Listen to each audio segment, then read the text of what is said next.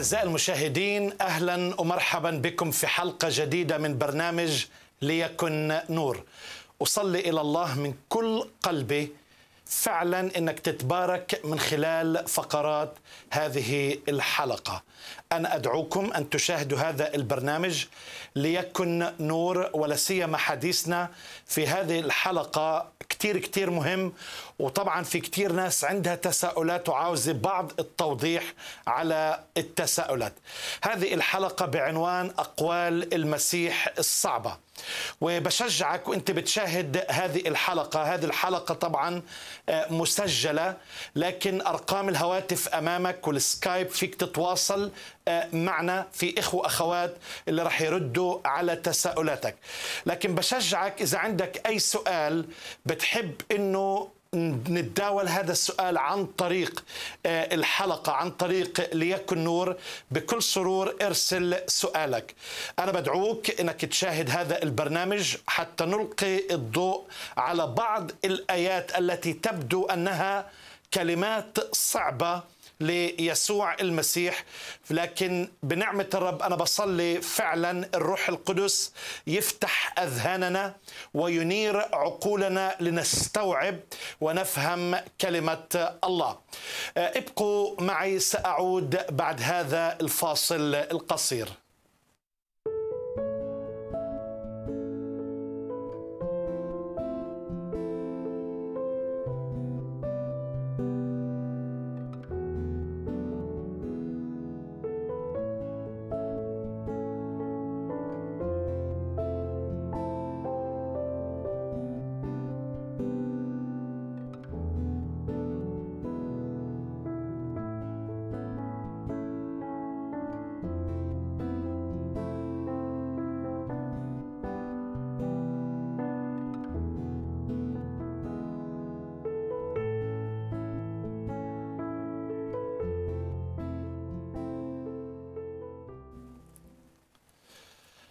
أهلا أعزائي أنتم تشاهدون ليكن نور وحديثنا في هذه الحلقة أقوال المسيح الصعبة.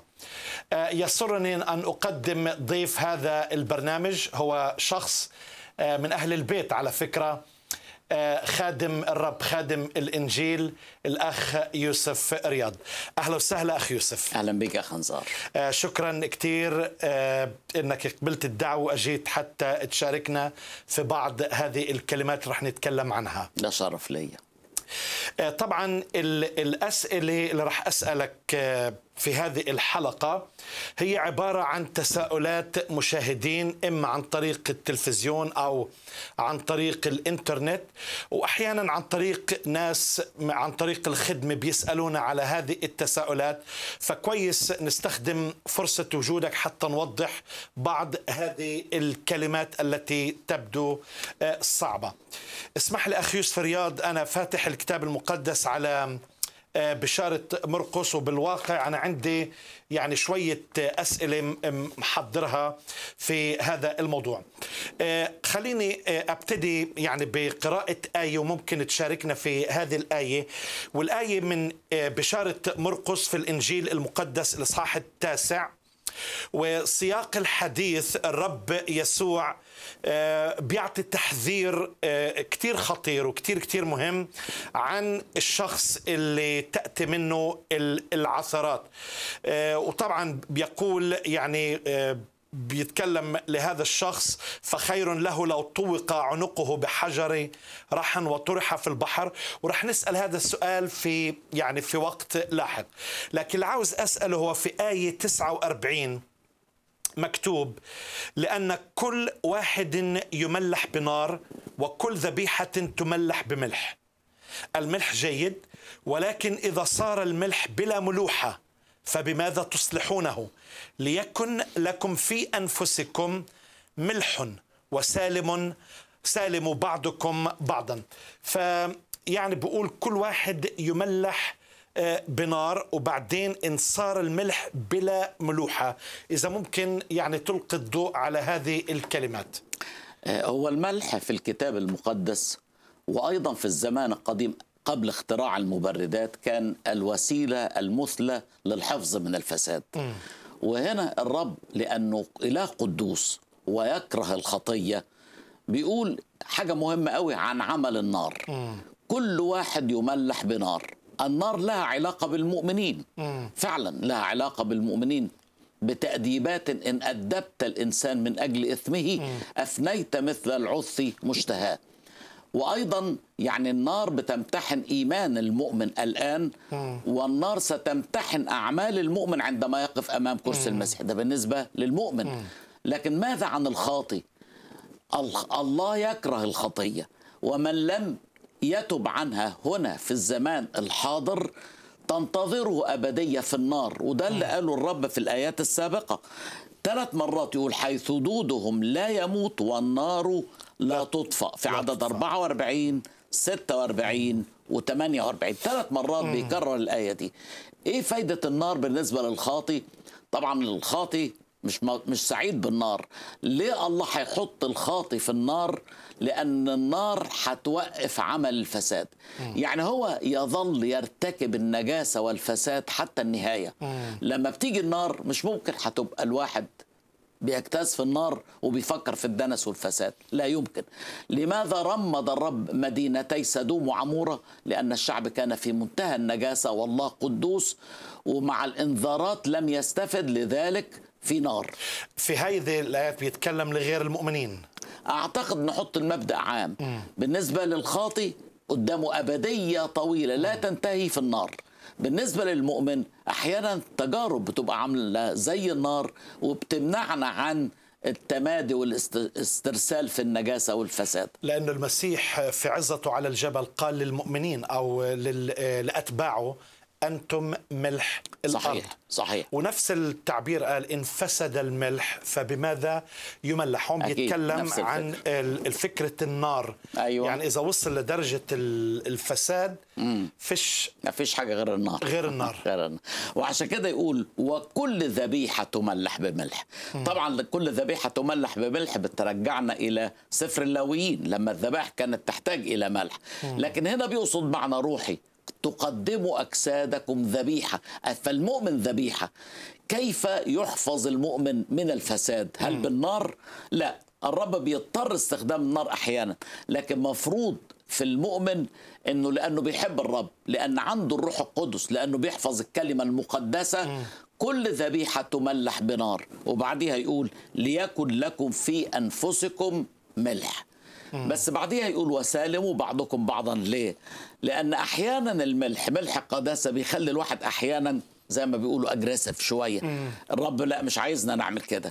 عاوزنا نبقى منفصلين عن الشر لكن نحب كل الناس. نعم. أحب الخاطي وما أحبش الخطيه ودي المعادلة الصعبة لكن ربنا كان كده. كان بياكل مع العشرين والخطاة هل معنى ذلك إنه كان متسيب في حياته؟ حاشا. وعشان كده بيقول ليكن لكم في أنفسكم ملح القداسة وسالموا. عيشوا بالسلام. ربنا بيحب إن المؤمن يعيش في سلام. الملح طبعا في أيام المسيح كان مادة مهمة آه، جدا لدرجة إنه يقال إنه حتى الجيش الروماني لما كان بده يعطيه المعاش ال- المهية آه، بيعطوه مثلا وعاء أو أكثر من ملح لأنه الملح آه، مهم جدا حتى يحافظ بالظبط على الطعام على على الأكل. ويقال أن كلمة سالري الإنجليزية جاية أساسا من سولت اللي هو الملح. الملح. فكان فعلا والعرب عندهم عيش وملح. دي مهمة قوي يعني لما تاكل مع واحد عيش جزء وملح. من العهد طبعا ده بالضبط. كمان في. العهد القديم. يس فاذا لما بيتكلم يعني خلاص وصلت لوضع بقول اذا إذا صار الملح بلا ملوحة إيش بيقصد؟ يعني أطبقها على مؤمن في العهد القديم اللي هو لوط. بالحقيقة يعني كان مفروض لوط إنه يبقى مختلف عن أهل البلد. وهو فعلا كان مختلف لكن ما كانش ليه طعم واضح. كان ملح بلا ملوحة وعشان كده بكل أسف ما نلاقيش لوط كان نافع في أي حاجة. ما نفعش. رغم أنه بار ومؤمن وحفظ لكن خلص كما بنار زي ما بيقول لنا في كورنثوس الأولى ثلاثة. فمؤمن فقد تأثيره على المحيطين به. المؤمن ملح أنتم ملح الأرض. إذا فقدت تأثيري على الوسط المحيط بمعنى أني ما عدت أوقف سريان واستشراء الفساد فأنا صرت ملح بلا ملوحة ولا أصلح لشيء. هون بيتكلم عن شخص ال- المسيح كيف موقفه كمان من العثرات آه، أخ يوسف. وإحنا دائما لما بنعلم عن المسيح بنتكلم عن المحبة بنتكلم عن الرحمة بنتكلم عن الخلاص. لكن بنشوف آيات عديدة في الإنجيل المقدس اللي بتتكلم عن وصف جهنم النار وبيتكلم عن دود وبيتكلم عن نار لا تطفأ. يعني الرسالة آه، عم منحسها شديدة نوعا ما. آه، يلقى حجر رحى. نار لا تطفأ. إذا الملح فسد كيف يصلح هذا الملح؟ فشو تفسيرك ل- لهوية وشخصية المسيح في حديثه في هذا السياق؟ في الحقيقة الله مهوب والله قدوس وأن نظن بخلاف ذلك إحنا بنرسم صورة خاطئة عن الله. لكن هذا الله محب. وعشان كده لا يشاء أن يهلك أناس بل أن يقبل الجميع إلى التوبة. فكون الله بيدعو الناس إلى التوبة لأنه لا يريد أن أحدا يهلك. لكن ماذا؟ عن الذين يحتقرون نداءه ويرفضون فرصة النعمة الحاضرة. عشان كده الآيات اللي بتتكلم عن النار آيات واضحة وحقيقية. الآيات اللي بتتكلم عن عقاب الله حقيقية. لما بيقول مثلا من خالف ناموس موسى فعلى شاهدين أو ثلاثة يموت بدون رأفة. وبعدين يقول فكم عقابا أشر. شر. طب إذا كان هيموت بدون رأفة في إيه؟ أشر من كده. في أبدية يقضيها الخاطئ الذي احتقر نعمة الله وخلاص المسيح يقضيها في جهنم. وعشان كده بيقول فكم عقابا أشر. تظنون أنه يحسب مستحقا. من داس ابن الله وحسب دم العهد الذي قدس به دنسا وازدرى بروح بروح النعمة. طبعا بشوف إنه كمان في توازن في الصفات الإلهية. أيوه. المسيح طبعا هو محبه ورحمة طبعاً. لكن من الناحيه الثانية هو الدين الديان صحيح. أجرة الخطية موت. صحيح. يعني الناس بتحب الله محبة وأنا بحبها. آية عظيمة بلا شك. بس قبل ما تيجي الله محبة في يوحنا الأولى أربعة وجيت مرتين جيت في يوحنا الأولى واحد الله نور وليس فيه ظلمة. البتة وإذا قلنا أن لنا شركة معه وسلكنا في الظلمة نكذب ولسنا نعمل الحق. إذا الله نور طيب خليني آخذ سؤال ثاني برضه من آه، آه، من إنجيل لوقا هذا السؤال ويمكن تلقي الضوء على هذا السؤال. إنجيل لوقا إصحاح آه، 16 وراح أقرأ آيتين ويمكن كل آية بناخذها على آه، على حدا اللي هي آية 8 وآية 9 مكتوب في آية 8 طبعا هون بيتكلم عن مثل المسيح. أيوة. مثل وكيل الظلم أيوة. في آية 8 بيوصل بقول آم، آه، فمدح السيد وكيل الظلم إذ بحكمة فعل بعدين على طول الرب يسوع بيقول لأن لأن أبناء هذا الدهر أحكم من أبناء النور في جيلهم وآية تسعة على طول وأنا أقول لكم اصنعوا لكم أصدقاء بمال الظلم حتى إذا فنيتم يقبلونكم في المظال آه، الأبدية. شوي يعني لما بتيجي بتنظر لشخصية المسيح بيعطي المثل آه، بنشوفه يمكن بشكل سلبي. شو رأيك أخي يوسف؟ لا مش سلبي أنا رأيي إنه إيجابي. هو الراجل وشي إليه عند اللي هو الوكيل ده. هو بيتكلم عن مثل كمان. عن مثل يعني. آه. وشي إليه أنه يبدد أموال سيده فقال له أعطي حساب وكالتك فأنت لا تصلح بعد أن تكون لي وكيلا. الراجل يعمل إيه؟ فكر بحكمة. وهنا مدح السيد اللي هو سيد هذا الوكيل مش المسيح. مدحه أنه فعل بحكمة. إيه اللي عمله بحكمة؟ آه، اللي كان اللي كان عنده صك مثلا يقول كده في عدد خمسة قال الأول كم عليك لسيدي؟ مئة بث قال له خد الصك بتاعك واكتب خمسين. والتاني مئة كر قمح اكتب تمانين. يقال أن الراجل ده كان بيسلف بالفايز إنجاز لنا أن نقول. Yeah. يعني يدي خمسين بث زيت وبس الزيت ده كمية كبيرة قوي. آه، و بس لما يجي يكتب عليك الوصل ما يكتبلكش خمسين يكتب عليك مية. الراجل ده بقى لما حس إنه هيتشال من الوكالة قال طب أعمل إيه؟ طب أقول لك أعمل إيه؟ كل واحد أرجع الدين بتاعه لأصله. فهو ما ظلمش حد لكنه تصرف بحكمة. اللي كان واخد خمسين قال له ليه تكتب مية؟ اكتب خمسين. واللي كان واخد تمانين كر قمح قال له اكتب تمانين ما تكتبش مية.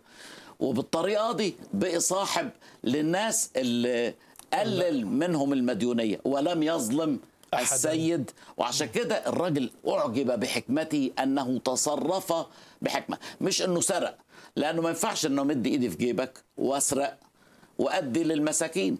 في ناس بتعمل كده. وأنقذ نفسه كمان. هو أنقذ نفسه. لكن كمان ما ينفعش اني اني إني أسرق وأقول أنا هطلع عشورهم ولا هطلع منهم زكاة. ما يعني انت بتضحك على ربنا ولا بتضحك على مين. الراجل ده ما عملش كده لكن تصرف بحكمة أنه أعاد الدين إلى أصله وبالتالي فهو تصرف بمنتهى الحكمة متفكرا بأنه قريب جدا مش هيبقى وكيل. الناس دول لما أعزل من الوكالة سيقبلونني في بيوتهم لأني كنت راجل محترم معهم. آه، بكمل طبعا بقول آه، طبعا مدح آه، وكيل الظلم. بعد بقول هاي العبارة لأن أبناء هذا الدهر أحكم من أبناء النور. يعني. هذا الدهر أحكم من أبناء النور في جيلهم. شو اللي بيقصد في جيلهم؟ أبناء هذا الدار اللي هم ما يعرفوش ربنا. أبناء النور أولاد الله. بس للأسف وده الأمر اللي يعني اللي يزعل ربنا ويزعلنا إن مرات كتيرة بيبقى أهل العالم في تفكيرهم في مستقبلهم الأرضي. أكثر مننا إحنا في تفكيرنا في مستقبلنا السماء فإحنا عارفين إن إحنا رايحين السماء. اللي بيكون في بلادنا في الشرق وناوي يهاجر أمريكا بيبقى كل تفكيره إزاي أحول فلوسي إلى أمريكا أو إلى أستراليا.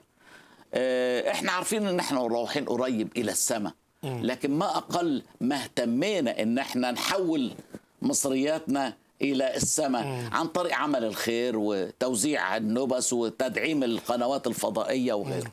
بكمل بقول آه، يعني اصنعوا لكم أصدقاء بمال الظلم.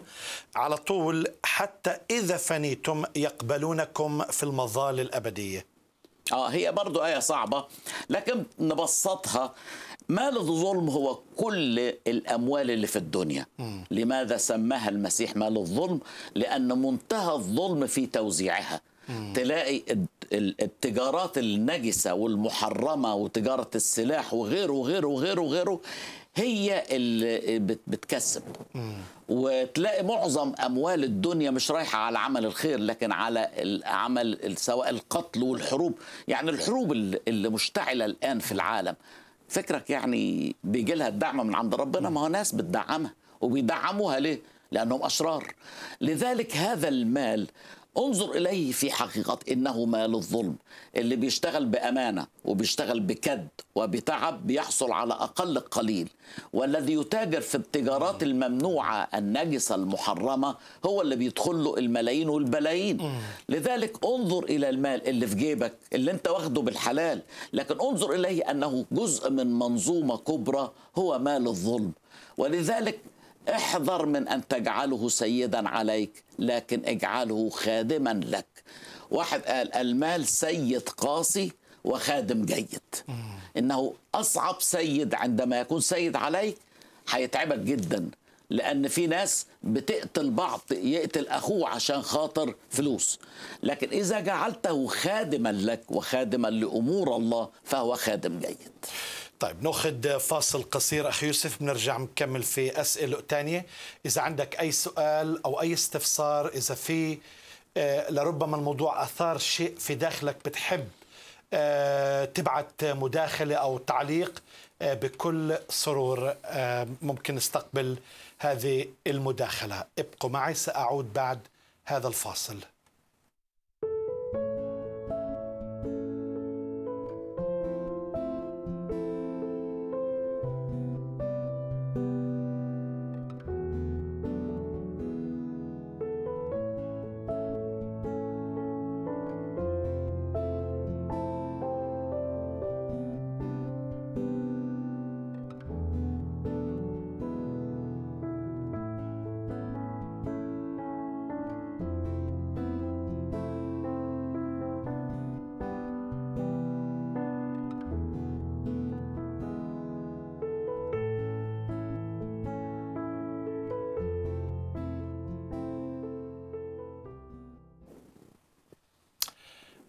أهلا أعزائي المشاهدين أنتم تشاهدون ليكن نور وحديثنا في هذه الحلقة عن بعض أقوال المسيح الصعبة. وضيف هذه الحلقة الأخ يوسف آه، رياض. آه، أنتقل أخ يوسف إلى إنجيل مرقس إصحاح آه، ثلاثة والسؤال هو بكل بساطة عن آه، بعل زبول ونهب البيت. أنا ممكن أقرأ الآية اللي في آه، في آية 27 آه، بقول لا يستطيع أحد أن يدخل بيت قوي وينهب أمتعته. إن لم يربط القوي أولا وحينئذ ينهب بيته. على طول بقول الحق أقول لكم إن جميع الخطايا تغفر لبني البشر والتجاديف التي يجدفونها. ولكن من جدف على الروح القدس فليس له مغفرة إلى الأبد بل هو مستوجب دينونة أبدية لأنهم قالوا إن معه روحا نجسا. طبعا الرب يسوع له سلطان على الأرواح الشريرة النجسة. وبعدين بعض اليهود اتهموا يسوع أنه برئيس الشياطين. فإذا ممكن توضح لنا فكرة بعل زبول آه، نهب البيت والتجديف على آه، الروح القدس. لأنه في بعض أنا ليش بسأل هذا السؤال؟ في ناس عم يعني بيعترضوا عن طريق الأمثلة اللي بيقدمها الرب يسوع المسيح. مثلا سيأتي كلص. فليه عم بيستخدم كلص؟ وهون في هذا في سياق الحديث بيتكلم عن لص عم بينهب الأمتعة فإذا ممكن تشاركنا في شرح هذه الآية. هو اولا سيأتي كلص يوم الرب. مش المسيح سيأتي كلص لكن يوم الرب وهو يوم رهيب. اللص غير مرحب به.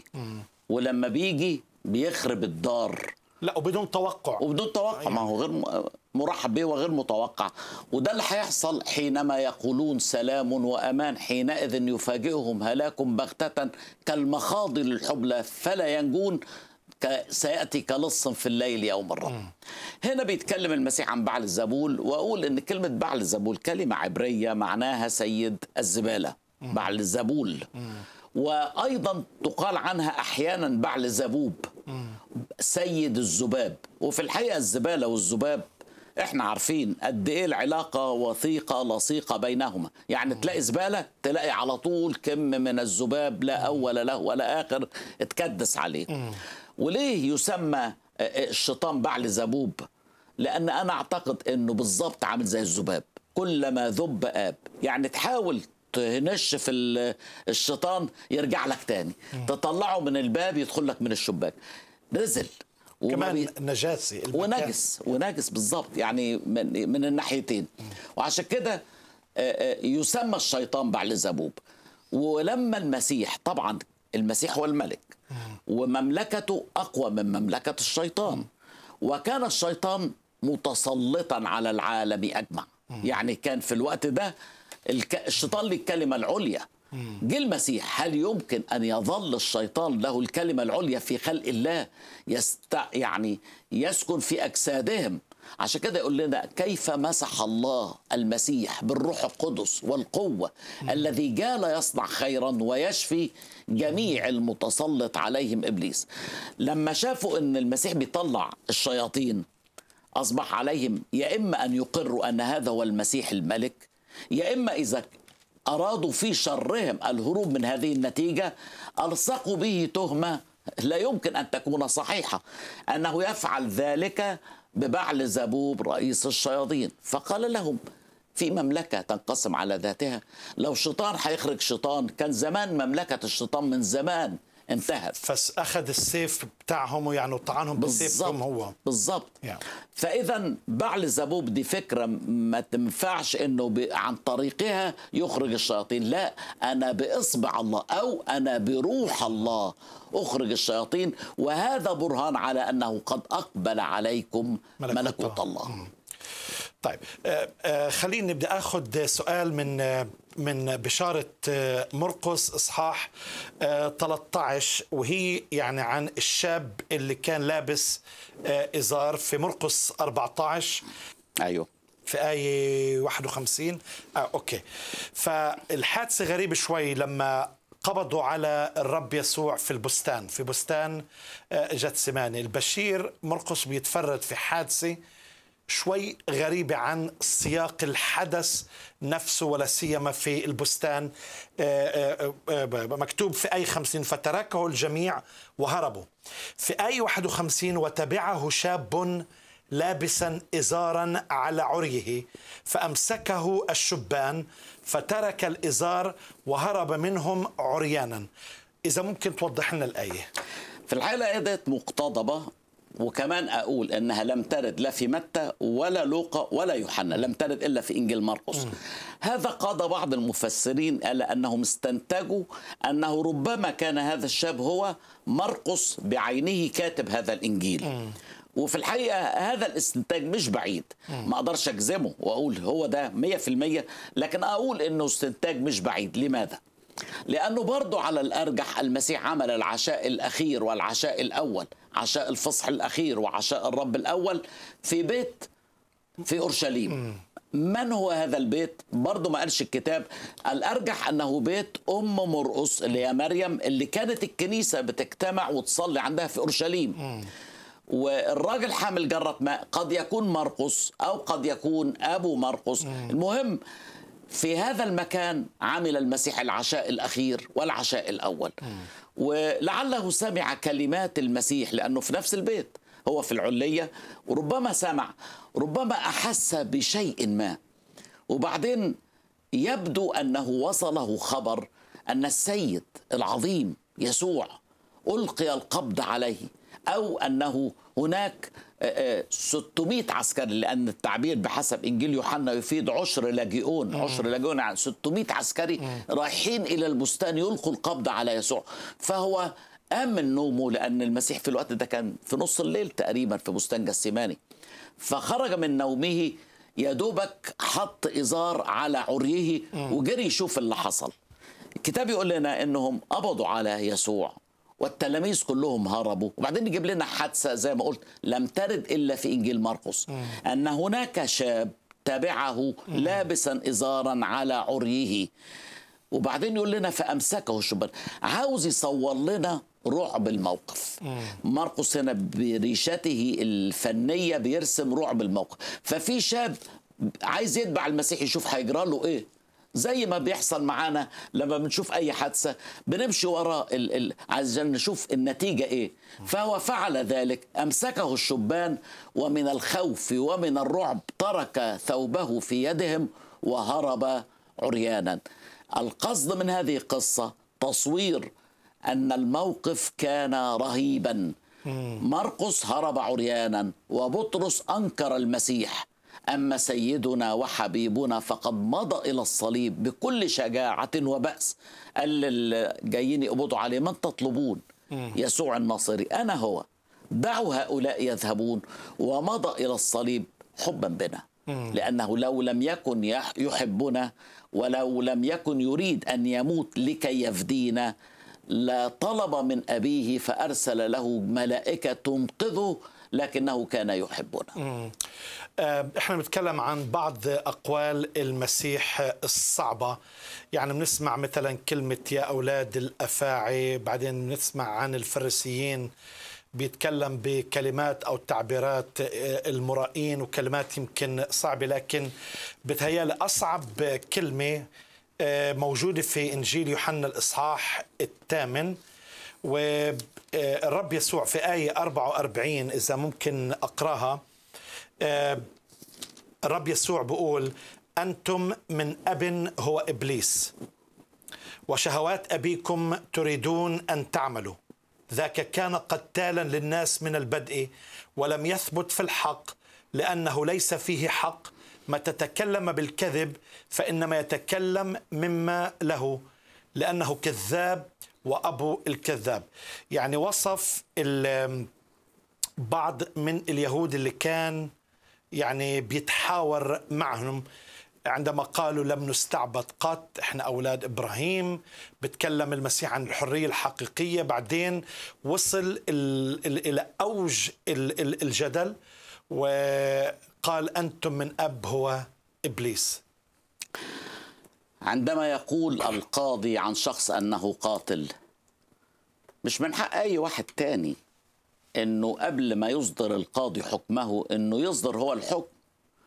لكن القاضي عندما يحكم ده مش بيشتم لكن ده بيحكم. المسيح هو الديان هذا معروف أن المسيح هو الديان. الله أقام يوما هو فيه مزمع أن يدين المسكونة بالعدل برجل قد عينه. فهذه العبارات كلها التي قالها المسيح أولاد الأفاعي أو المرائين أو أو إلى آخره هو بيتكلم هناك كقاضي لا يحكم حسب الظاهر لكنه يحكم حكما عادلا. فمن يعرف خفيات القلب سواه؟ في الإنجيل كان يعرف خفيات الناس بيعرف اللي بيدور في أفكارهم؟ نعم كان يفعل ذلك. لذلك المسيح هو الذي يعلم.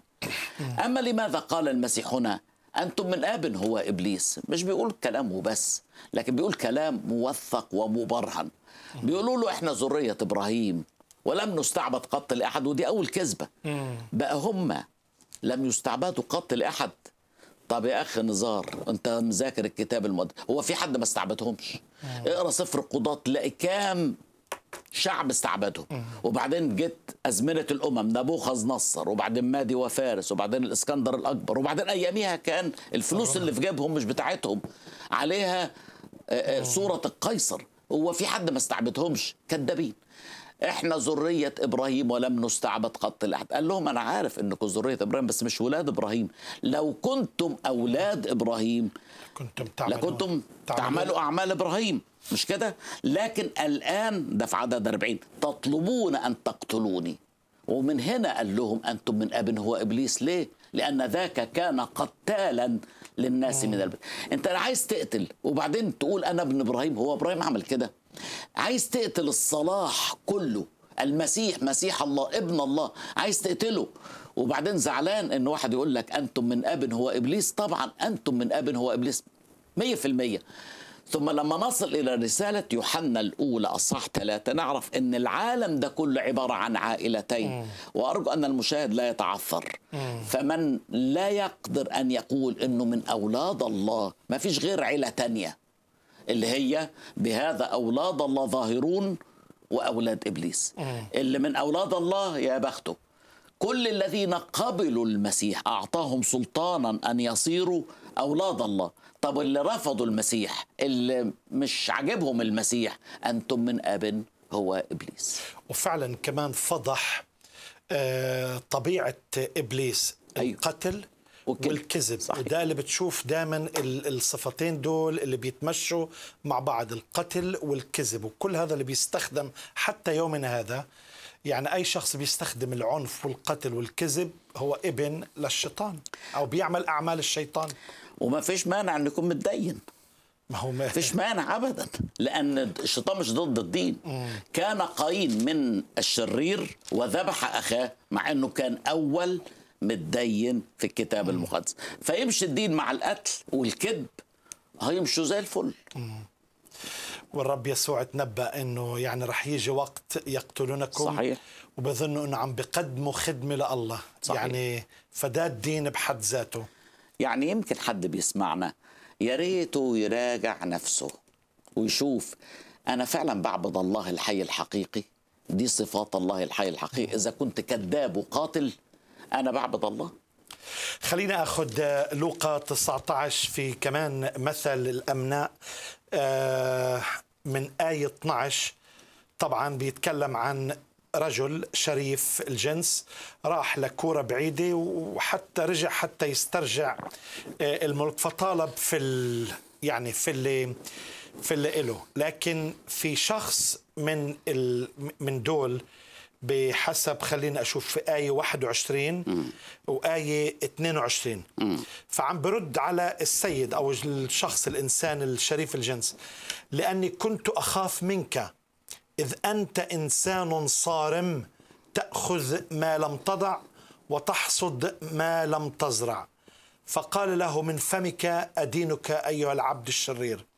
عرفت أني إنسان صارم يعني عم بأكد لش للشخص أني إنسان صارم آخذ ما لم أضع وأحصد ما لم أزرع. فلماذا لم تضع فضتي على مائدة الصيارفة؟ فكنت على الأقل يعني متى جئت أستوفيها مع ربا أيوه. وبعدين طبعا بيكمل خدوا منه المنى وأعطوها لشخص اللي بيعطي الثمر أو النتيجة. أنا بشوف روعة القاضي الحكيم جدا في هذه الأعداد. إنه لا يؤكد كلام هذا العبد الكذاب. الراجل ده كذاب. والمسيح هيثبت له إنه كذاب. وده على فكرة ناس كتيرة بتقول كلام عن الله أو عن المسيح. هم. لا هم كذابين هم كذابين. فهنا الراجل ده انت ما تاجرتش ليه؟ ما جبتش ليه أي ربح بالوزنه اللي اديتها لك بالمنه اللي اديته لك؟ بقول له أنا خايف منك. فقال له أنا خفت منك. خفت مني ليه يا حبيبي؟ لأنك أنت إنسان صارم مفتري. تزرع ما لم آه، تحصد ما لم تزرع وتأخذ ما لم تضع. له بس. انت عارف لما يكون بتاع مباحث شاطر ويوقع الراجل أنت مش قلت كده؟ تعالى أنا مش هجيب حاجة من بره أنا من فمك أدينك. سوف أدينك. طب إذا كنت أنا مفتري وبحصد من حيث لم أبذر طب يا أخي حط الفضة بتاعتي عند الصيارفة عشان أنا راجل مفتري أخدها مع الربا. لكن أنت دفنتها في منديل أنت لا تعتقد أني أنا صارم وأني أنا مفتري. لكن أنت البطال والكسلان والشرير اربطوه من إيديه ورجليه واطرحوه في الظلمة الخارجية يكون البكاء. وصرير الأسنان. فهنا المسيح بيدينه من فمه وليس يثبت كلامه. طيب شو الغرض من هذا المثل؟ الغرض من هذا المثل أنت لو قريت أول الأصحاح يا أخ نزار هتلاقي أروع قصة من قصص النعمة. لكن هذه النعمة اللي هي خلاص زكى العشار رئيس لا ده رئيس عشارين. والمسيح كان قال في الأصحاح اللي فات ما أعصر دخول ذوي الأموال إلى ملكوت الله. ما يعني ده صعب. قالوا له ما حدش هيخلص. قال لهم معلش اللي ما يقدرش عليه الناس يقدر عليه ربنا. وفي الأصحاح اللي بعديه خلص واحد غني اللي هو زكى طيب آه، الخلاص بالنعمة والأشر الناس. طب وماذا عن الذين يحتقرون النعمة ويرفضون الخلاص؟ ولا حاجة خلاص راحت عليهم. لا يا حبيبي لا مش كده. الإنجيل لا يقول ذلك أبدا. الإنجيل يقول من له الابن له الحياة من ليس له ابن الله فلن يرى حياة بل يمكث عليه غضب الله. هنا عاوز يقول لنا ماذا هو ما هو مصير الأشرار اللي رافضين نعمة ربنا؟ ما هو مصيرهم؟ مصيرهم بعيد عنك أسود. هذا ما يقوله الكتاب المقدس كله. بس مش دلوقتي. هذا الكلام مؤجل طول ما في زمان النعمة الحالي. لكن أول ما يخلص زمان النعمة ونحن لا نعلم متى سينتهي لكن نؤكد أنه قارب أن ينتهي. عندئذ سيدين الله البشر بالعدل. خليني اخذ سؤال تاني. أنا عارف إن الوقت عم بيمشي بسرعة. معنا في في لوقا إصحاح 16 وآية 16 كان الناموس والأنبياء إلى يوحنا ومن ذلك الوقت يبشر بملكوت الله وكل واحد يغتصب نفسه إليه.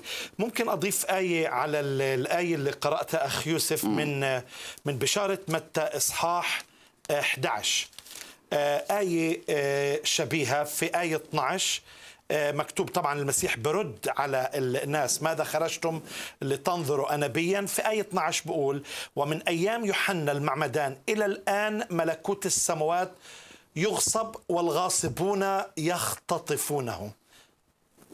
أيوه. بعدين بيكمل لأن جميع الأنبياء والناموس إلى يوحنا تنبأوا وإن أردتم أن تقبلوا فهذا هو إيليا المزمع أن يأتي. فأنا عاوز أسأل عن اغتصاب الملكوت والسؤال اللي بيجي بعديه وإن أردتم أن تقبلوا فهذا هو إيليا المزمع أن يأتي في آية 14 طيب. خلينا نأخذ الاغتصاب الملكوت. نأخذ اغتصاب الملكوت كما جاء في متى. من أيام يوحنا المعمدان إلى الآن لأنه قبل كده قال لهم كان الناموس والأنبياء. إلى يوحنا نعم. طيب جه يوحنا آخر الأنبياء بس جاب معاه شيء جديد. أعلن شيئا جديد إيه هو الشيء الجديد توبوا لأنه قد اقترب ملكوت السماوات الملكوت قرب لكن بكل أسف الفريسيين والكتبة الأشرار كانوا يريدون أن يغتصبوا الملكوت منهم. بقتل الملك يعني الملك جاي إحنا مش عاجبنا الملك ده بصراحة طب نعمل إيه؟ نقتله. نعمل إيه يعني؟ هنعمل إيه؟ فبيقول لهم خلوا بالكم من أيام يوحنا المعمدان ملكوت السماوات يغصب والغاصبون اللي هم الكتبة والفريسين يختطفونه. وفي تفسير آخر بحسب ما جاء في لوقا 16 الآية اللي حضرتك قريتها كل واحد يغتصب نفسه إليه يعني take it by force يعني إذا أنت عايز تبقى من رعايا الملكوت ما تستناش لما ليس ليس آه، ما حدش بيدرك المطالب وما كان نيل المطالب بالتمني ولكن تؤخذ الدنيا ويؤخذ الملكوت غلابا. عشان كده قال لهم يغصب والغاصبون يختطفونه. لكن سياق الحديث في الآيتين بيتكلم عن آه، يوحنا المعمدان في إنجيل آه، آسف في في إنجيل أيوه إنجيل لوقا بيتكلم عن اغتصاب الملكوت في سياق مثلا آه خليني أشوف في آية 16 كان الناموس والأنبياء إلى يوحنا ومن ذلك الوقت يبشر بملكوت الله وكل واحد يغتصب نفسه إليه ولكن آه. زوال السماء والأرض أيسر من أن تسقط نقطة واحدة. بعدين على طول في آية 18 بيتكلم عن كل من يطلق امرأته ويتزوج بأخرى يزني. ف يعني بيبتدي عن الفكرة الطلاق وحب المال. بيدخل موضوع يوحنا بعدين بيرجع عن الطلاق. كيف نفسر هاي يعني يبدو أنها مش راكبة على بعض لكن ببساطة. كان الناموس والأنبياء إلى يوحنا وجاء يوحنا كآخر حلقة الأنبياء. ومن ذلك الوقت يبشر بملكوت الله وكل واحد يغتصب نفسه إليه عليك أن تأخذ حصتك من هذا الملكوت بالقوة بأن تعتمد من يوحنا وأن تصبح من تلاميذ المسيح. طيب لكن ليس معنى ذلك أن الناموس سوف يزول. فإن زوال السماء والأرض أيسر من أن تسقط نقطة واحدة من الناموس. صحيح العمل بالناموس بمجيء يوحنا المعمدان والأنبياء انتهى بمجيء يوحنا المعمدان وشيء جديد بدأ لكن ليس معنى ذلك أن الناموس بقي اكسبايرد لا. زوال السماء والأرض أيسر من أن تسقط نقطة واحدة من الناموس. بعد كده بيتكلم عن الطلاق. إيه علاقة الطلاق؟ يريد أن يقول مع أن الامتياز أسمى بحسب ما نقرأ في عدد 16 لكن المسؤولية أيضا أعلى. فمش معنى ذلك إن لغينا الناموس. يعني إذا تتجوز بقى وتطلق على كيفك من غير كتاب طلاق لا ده أنا بقول لك بقى حاجة تاني. أن من طلق امرأته وتزوج بأخرى يزني. وكل من يتزوج بمطلقة يزني وده أسمى من الناموس. يعني الناموس كان بيسمح بالطلاق بس شرط إديها كتاب طلاق. المسيح الذي هو أعظم من موسى وأعظم من الناموس لا يسمح اطلاقا بالطلاق. وطبعا كان السؤال شوي خبيث لأنه كان الفكرة يبررون أنفسهم قدام بالزبط. الناس. بالضبط فالمسيح طبعا وجه ذاته.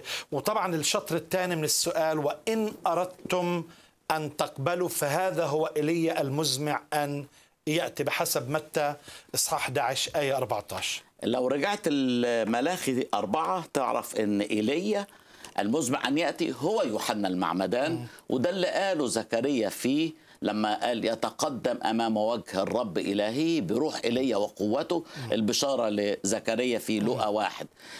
لكن هنا الرب حط شرط إن أردتم أن تقبلوا إذا عايزين تقبلوا المسيح الآتي لكن إذا مش عايزينه براحتكم سيضيع عليكم الملك. فإذا أردتم أن تقبلوا هذا هو المعمدان وأنا الملك. أما إذا رفضتم القبول فلقد ضاعت عليكم الفرصة. آه خليني هيك أوجه سؤال أخير. اليهود آه قالوا للمسيح يعني آه، هو قالهن أنتم من أب هو إبليس. بعدين هم بيقولوا في في سياق الحديث بحسب يوحنا 8 ألسنا نقول حسنا إنك سامري وبك شيطان. مم. عم يعني بهينوا شخص المسيح. صحيح. الأممي محتقر من اليهودي بصفة عامة. إن السامري أسوأ من الأممي في نظر اليهودي. لكن ده أنت مش سامري بس ده أنت سامري من أنجس أنواع السامرين أنت بيك شيطان. لكن المسيح يتقال عنه في بطرس الأولى اثنين الذي الشتم لم يكن يشتم عوضا وإذ تألم لم يكن يهدد. عشان كده قال لهم أنا ليس بي شيطان لكني أكرم أبي وأنتم تهينونني. فما ردش على الشتيمة بالشتيمة لأنه شخص رائع ونبيل وعظيم. آه، أخ يوسف طبعا في أسئلة كتير إحنا ممكن نتداولها بس آه، اللي عاوز أأكد في الموضوع آه، يعني كلمة الله واضحة كلمة الله حية. فعالة أمضى من كل سيف ذي حدين. وبعدين كلمة الله آه، موحى بها آه، من الروح القدس. فيعني في كتير أشياء اللي ممكن ناس عم تقرأ الكتاب المقدس وعم تستصعب بعض الأفكار الصعبة. إيش يعني كيف فيك تنصحهم إنه يتخطوا هذه ال- ال- الصعوبات؟ يعني إحنا النهارده في زمن إحنا نتحسد عليه انجاز لي أن أقول.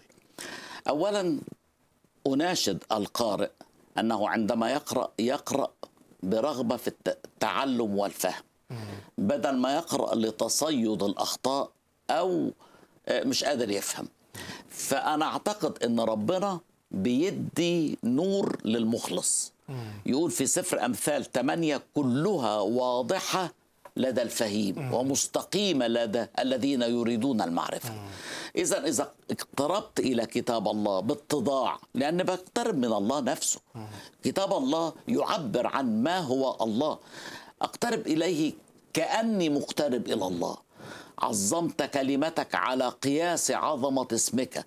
فأقترب بكل اتضاع وأطلب من هو اللي كاتب الكتاب ده. ما زال يح- يح- يحيا. هو الحي إلى أبد الأبدين هو الله. أقول لله وهو قريب مني مع أنه عن كل واحد منا ليس بعيدا. أضف إلى ذلك إن النهارده عندنا قواميس وعندنا حاجات مساعدة. يعني لو كلمة مش واضحة أنا أقدر أفهم معناها من ال- الإنترنت بسهولة جدا. فبس أتمنى من قلبي عندما نقترب إلى كلمة الله نقترب بخشوع وتقدير واحترام. والله سوف يكشف لنا تواضع كل شيء وتواضع كمان على صح. أساس إنه أنا بتعامل مع كلمة الله حتى لو مش فاهم. صحيح. وأنا فعلا عندي رغبة واشتياق إنه أقترب إلى الله. الله رايح يجاوبني من من خلال الكلمة وأنا دائما بقول ما تتصفح الكتاب مثل صحيح. جريدة اقرأ صح. الكتاب بحيث إنه الكتاب رح يجاوب على نفسه قارنين الروحيات آه، بالروحيات لكن واحدة من الأشياء دائما الصعبة آه، في موضوع ال- العهد الجديد اللي بتتعلق في شخصية المسيح ونهاجم كثيرا عليه آه، بعض أقوال المسيح اللي بيتكلم فيها كإنسان كإنسان كامل مثلا من نفسي لا أقدر آه، أن أفعل شيء لا أدين أحد. ومن ناحية ثانية بتشوف إنه عنده القدرة وعنده قوة الدينونة والدينان. فإزاي نوضح فكرة كلام المسيح كإنسان لكن بنفس الوقت لم يفقد اللاهوت؟ يعني لو كانوا اللي عنده التساؤلات دي بيسأل أهل الذكر كان يبقى كويس. لكن هل نحن نقول أن المسيح ليس إنسان؟ الكتاب المقدس يعلم أنه إنسان لكن هو الله؟ نعم هو الله. هو الله وهو إنسان؟ نعم. يعني معنى كده 50% الله و50% إنسان. لا كلا. طبعا. مية في المية الله ومية في المية إنسان. وعندما أقول ذلك يمكن ده أمر يصعب فهمه بس مش ده الوحيد اللي بيصعب فهمه. مليانة الدنيا من حولنا بأشياء إحنا مش فاهمينها لكننا بنستعملها. الموبايل مثلا اللي بيوصلنا بالدنيا كلها أنا مش يعني إيه؟ يعني إزاي؟ فيش إزاي؟ بنستعمله. الله المسيح هو الله وهو إنسان وبالإجماع عظيم هو. سر التقوى الله ظهر في الجسد. فعندما أقرأ أنه إنسان نعم هو إنسان الكتاب يقول إنه إنسان لكن هل يقول إنه إنسان فقط؟ طلع لي الآية ديت وأنا لكن لا ده المسيح هو الإنسان وهو في الوقت ذاته الله. عشان كده بنلاقي في نفس الأصحاح يوحنا 8 قال أنا إنسان. في نفس الأصحاح قبل أن يكون إبراهيم أنا مش كنت لكن أنا كائن إيجو أيمي اللي هي أنا يهوى أنا يهوى وطبعا الرسول بطرس قال لأننا, لأننا لم نتبع خرافات مصنعة إذ عرفناكم بقوة ربنا على طول بكمل في في جزء أو في نفس ال- الإصحاح. وعندنا الكلمة النبوية. صحيح. ومن ناحية تانية يعني بنشوف إنه كلمة الله بتمشي بتناغم وانسجام مش عم بتناقض ولا بتحاول تف تفهم بشكل انك انت مش مش فاهم.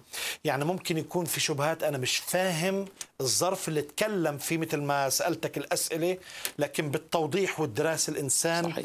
رايح يفهم. وبعدين برضه كمان الرسول بطرس بقول يعني مش إنه إحنا من من فراغ أو من عدم مستعدين لمجاوبة. كل من يسألكم عن سبب الرجاء الذي فيكم بوداعة وخوف.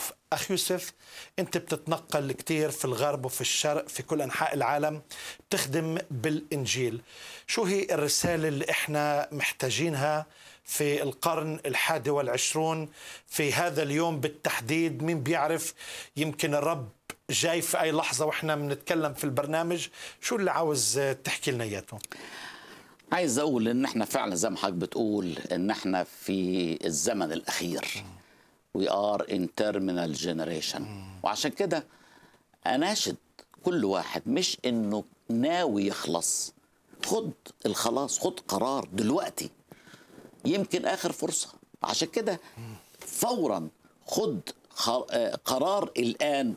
لأن بص يقول إيه في متى 25 والمستعدات. دخلنا معه إلى العرس وأغلق الباب. الباقيين كانوا عايزين يستعدوا كانوا في نيتهم. بس ما استعدوش وراحت عليهم.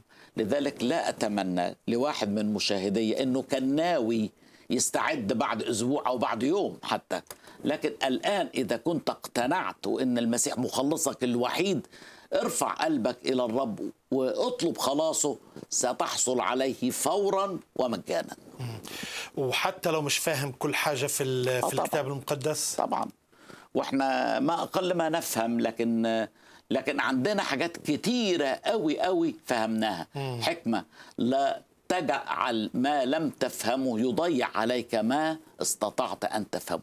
إحنا في الحياة حاجات كتيرة مش فاهمينها لكن في حاجات كتيرة فاهمينها وبنستفاد بيها فلا تضيع ما لم تص... ما لا تستطيع أن تفهمه آه، في سبيل ما تضيع لا تضيع ما فهمته في سبيل ما لا تستطيع أن تفهمه ولو شخص عاوز يبتدي في هذه العلاقة الجديدة ويقرأ كلمة الله شو بتنصحه أخ يوسف؟ بنصحه اقرأ العهد الجديد وابتدي بالعهد الجديد.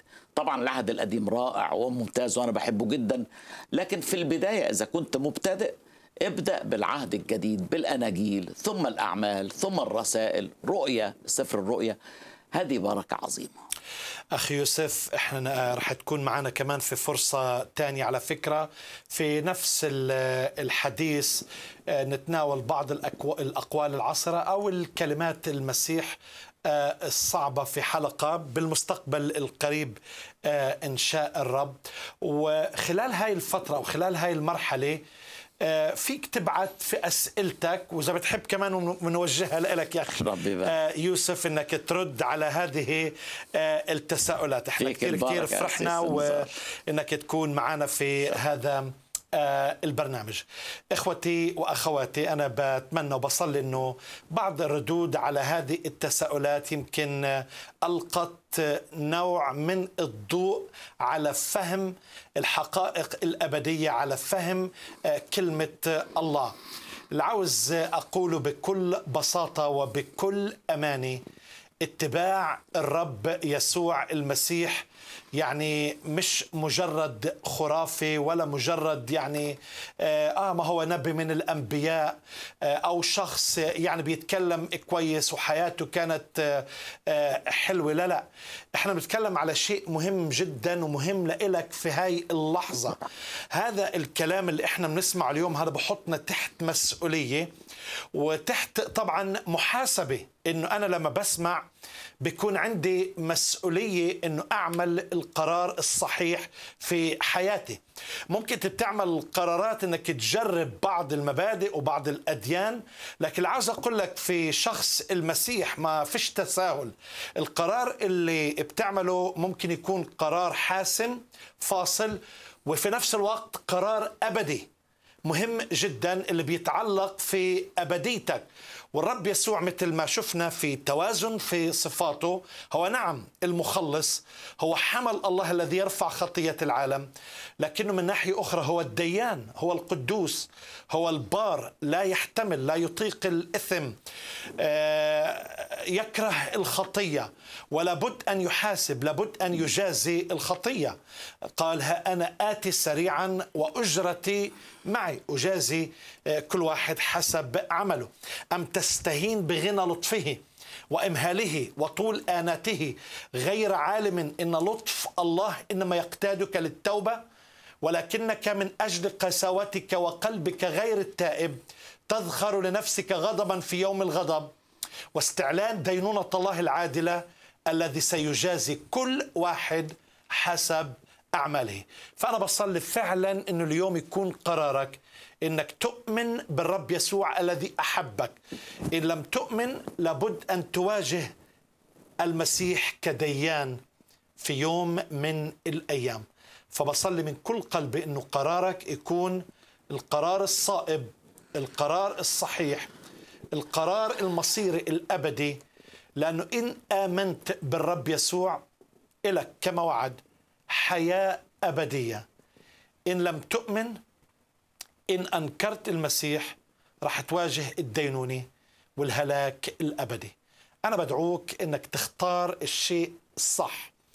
اختيارك اليوم بيتعلق في أبديتك. ما تضوع وقتك ما تضوع الفرصة. هو الرب اللي وعد. من يقبل إلي لا أخرجه خارجا ولا يأتي إلى دينونة بل قد انتقل من الموت إلى الحياة. هذه عطية الرب يسوع المسيح. لكل واحد يؤمن لكل واحد يقبل لكل واحد يريد الرب يسوع المسيح. إخوتي وأخواتي أنا بشكر رب من أجل حلقات اللي فيها منوضح بعض الأفكار اللي بتتعلق في بعض الآيات يمكن اللي مش مفهومة لكن عاوز أكد لك إنه لا مثيل له. فيش شيء فيك تشبه يسوع. مش ممكن تقارن ولا في نبي ولا في حكيم ولا فيلسوف ولا في أي إنسان. لا مثيل له. فشو رأيك تيجي للشخص الحي اللي هزم الموت اللي بإيده مفاتيح الهاوية والموت وهو الذي يقدر أن يعطيك الحياة الأبدية. الأرقام الهواتف موجودة أمامك. يمكنك أن تتواصل معنا. الرب يباركك. إلى اللقاء في حلقة أخرى في نفس الموضوع.